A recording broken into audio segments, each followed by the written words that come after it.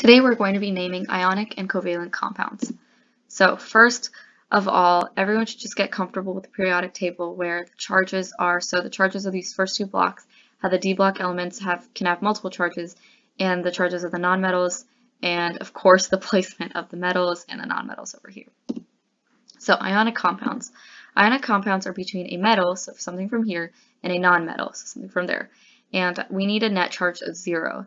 So let's take one metal, like sodium, and one nonmetal, like oxygen, and we look at sodium's charge. It's plus 1.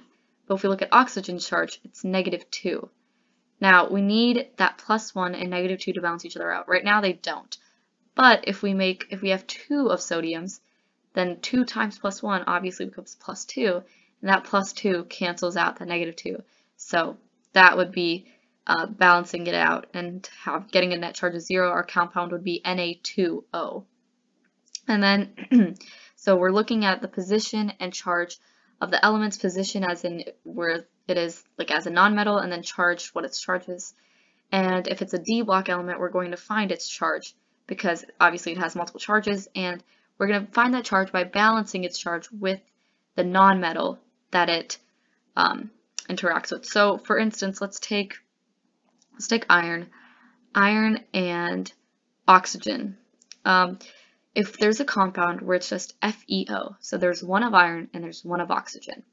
Now we have to balance both parts of this compound out. We know that oxygen has a charge of negative 2, and there's only one iron needed to balance that negative 2 out, so we know iron charge has to be positive 2. Alright, so now let's get into formulas. So for non-D block elements, so or metal, sorry. so over here, it's just going to be the metal and then the non-metal with its ending changed to "-ide". So let's look at, let's go back to our sodium and oxygen example. It'll be sodium oxide.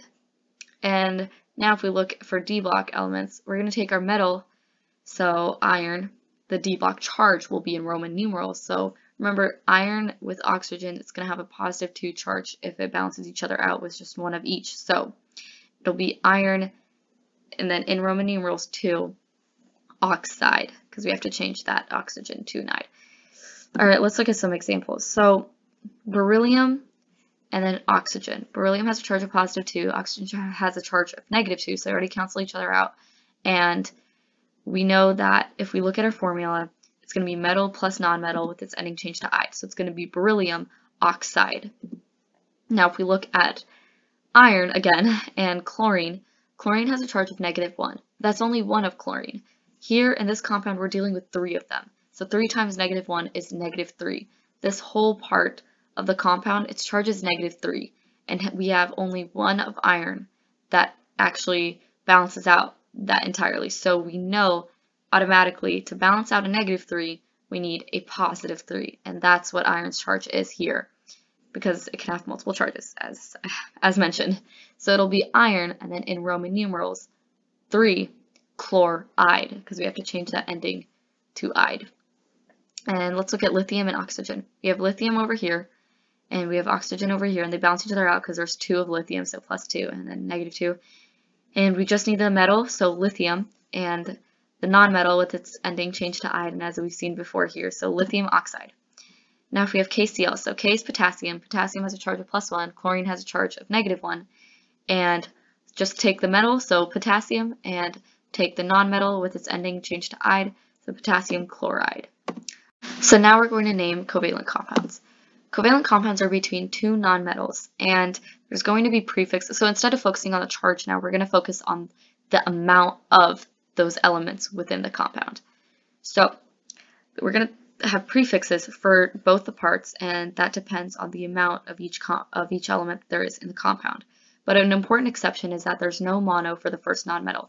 So let's say we have a nonmetal, which there's only one of it, and then there's four of the other nonmetal, and they're in a compound.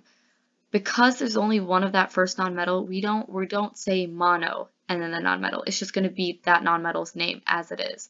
And then this one will have to have the prefix of 4, so tetra, whatever that nonmetal is with its ending in ide, because the second will always have a prefix.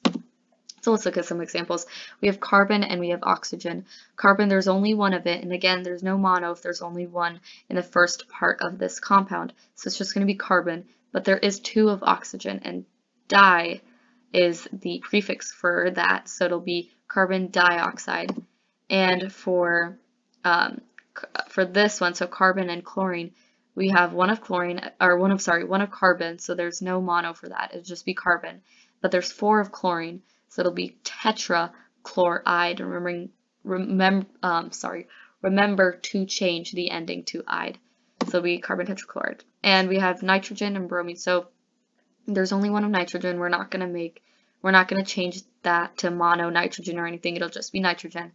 Nitrogen and then three of bromine, so it's going to be tribromide, changing the ending, so nitrogen tribromide.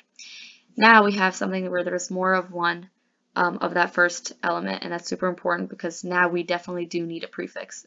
And that's why this one is not bolded, but this one is because we still would put a prefix if there's more than one, but not all the time there is more than one. So if we look at boron, there's two of boron, the prefix for that is di, so it'll be diboron, and there's six of hydrogen. So hexahydride, because we have to change that ending. And that's really all there is to naming these compounds.